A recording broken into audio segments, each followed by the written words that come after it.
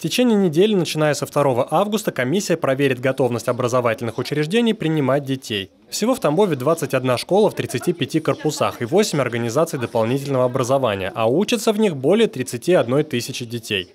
В приемке участвуют представители городской администрации, МВД, МЧС и других профильных ведомств.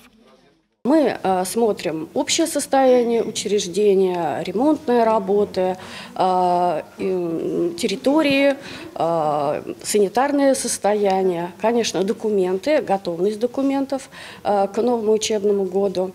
И, конечно, соблюдение требований безопасности детей во время образовательного процесса.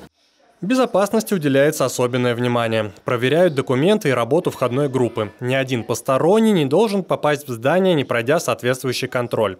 Вопросом безопасности движения занимаются сотрудники ГИБДД. В классах есть схемы маршрутов, а у каждого ученика Сколково есть своя личная памятка в миниатюре.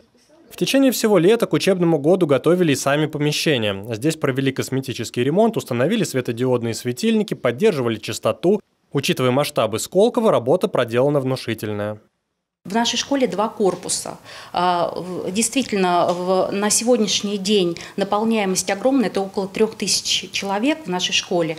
А, и школа работает в две смены. У нас э, третий класс в этом году выведены вот во вторую смену. В ходе проверки образовательные учреждения получают рекомендации, а иногда и замечания. Возможность привести заведение в соответствие требованиям дается до 1 сентября.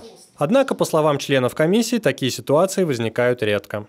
Конечно, зданием школы подготовка не ограничилась. Порядок привели и прилегающую территорию. В частности, вот подстригли траву, покрасили спортивные снаряды, качели, где это было необходимо. В общем, школа Сколково готова встречать своих учеников.